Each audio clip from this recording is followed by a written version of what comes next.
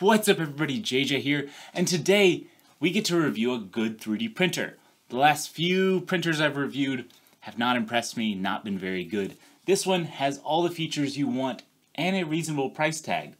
Kind of impressive, let's get right into it. First off, let's get the disclaimer out of the way. This was sent to me for free. I wasn't paid for this review. Once we get to the cons section, you will know there are downsides to this printer and I'm gonna let you know about them. First off, I think we should cover the specs of this. Build volume, is where I always like to start, 220 millimeters, 220 millimeters, 250 millimeters. Pretty standard build volume. That Z is nice and tall. You can build a little bit taller than you can in the X and Y volume. Next up, I think there's three big things that were really impressive to see on any specs list. First off is direct drive extruder. It's just good to see a solid direct drive extruder with dual gears. It's just a good extruder on there. Next up, auto bed leveling. That's great to see on any printer. It's almost the end of 2022. I think every 3D printer should have auto bed leveling, so it's nice to see it come stock with the firmwares already ready, out of the box, ready to go. I think that is the mod that I most recommend for most other 3D printers, so it's nice to see it comes with it stock. And the third big headlining feature is this spring steel PEI coated build plate. PEI coated sheets just work well that's what happens with prints. After it cools down, they just slide right off. Works amazing, and it is flexible, so if a, you had a larger print that was sticking a little bit more, you flex it a little bit, it'll pop right off. Also, it's nice that this is magnetic, so you can use any other magnetic spring steel plates and use any surface you want. Also, I printed off a scraper to be able to scrape up these parts. And a printed scraper won't damage the build plate. I think it came with a metal one, but I would recommend printing out one of these plastic ones. That way you're not going to damage that PEI coating. Other great features on here, dual part cooling fans, so it'll cool the parts from both sides. You get really good overhangs in that way. Touchscreen on here makes the menu really good. Longer has a really good menu system here. Just because it's touchscreen doesn't mean the menu is going to be good, but in this case it is good. For example, that last Focus Odin 3D printer I reviewed, that one was touchscreen, but the menu system wasn't well laid out. There were dead ends in the menu system, a lot of downsides to it. This one is simple, easy to use, really great. The printer also comes with belt tightening screws on the X and Y axes. That's really important. You want your belts to be nice and snug, kind of like a guitar string tight. Not too tight, but also not too loose. So you can tighten or loosen those. Great to see that feature built in. I feel like all of these mods are things that for so long were the most upgraded mods on things. People would add belt tightening screws. People would add auto bed leveling. People would add dual part cooling fans, different beds. These This comes with it all stock, built in, direct drive. That's a really common upgrade. You don't have to on this printer. It comes with all of these things. So I don't need to make a review of top five things you should upgrade about this printer because they come built in and it all comes at a price I was incredibly surprised by. When I was reviewing this, I wasn't sure what the final price of it was. They didn't tell me yet. I was expecting 400, 450. The final price is $300 right now. And maybe more if they give me any coupons. I will have them linked in the description down below. So all this for $300, I would just recommend if you're looking for a printer in that price range, just get this one. It's really good, prints well.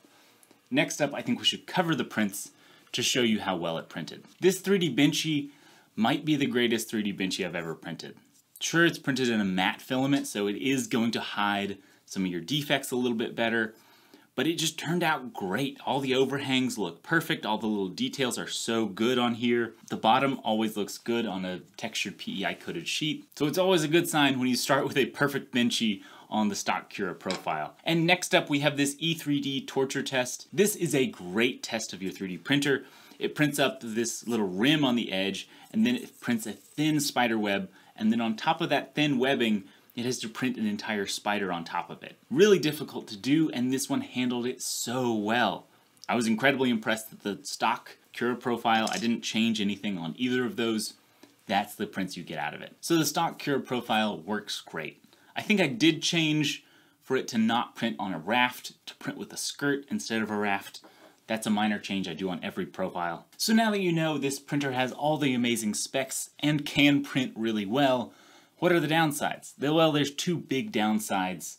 First one is the firmware. Second one, is print speed. It struggles at high speeds. Here are some close-up examples when you try to push the Cura profile print speed. I got all of these little blobs and zits when it tries to do a retraction travel move. It seems like it just makes a really large Z seam on your prints when printing at higher than stock speeds. And I've tried everything, all the common things at least, to try to remove those defects. I will contact Longer to see if they have any solutions for getting higher speeds out of there. If I do get this printing fast, it will of course be featured in some short videos. Subscribe so you don't miss those. But for now, it's not a speed demon. It prints fairly slow, but reliable prints. I think it's a balancing act of how fast do you want to print and how much are you losing in reliability. And there's kind of a nice benefit of it prints slow, but it's really reliable, and when I do print at the stock speeds, I haven't had a failed print at all. The second big downside is the firmware and how slow the default speeds are for probing the bed. It fully probes the bed every single print, and it pretty slowly moves between the points there. So the time between when you press the start print button and the filament really coming out to starting the print is kind of a long time. And it is really nice that this print is reliable, so I can say start print and then just leave.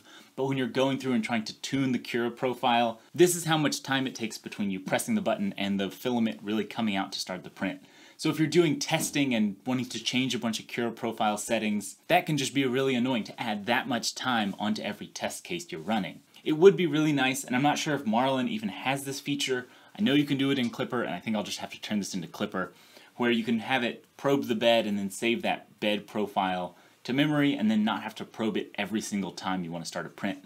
And then maybe once every couple weeks or once a month, you can rerun that bed probe, resave that profile if thing if these bed wheels slowly are shifting, but for the most part, you don't need to probe it for every single print. Another downside, and it really is a cost-cutting measure to keep it at this price point, is there's only one Z screw on the back here. It's over here, there's a Z lead screw, there's nothing on this side, so it's kind of just supported on this vertical arm here. That one I see as more of a cost-cutting measure. Usually cheaper printers will only have one Z lead screw and not two. Two Z screws will add more stability, but the prints have been turning out great, and you can really print great with one Z screw. And the last little nitpick I have is this whole setup up here.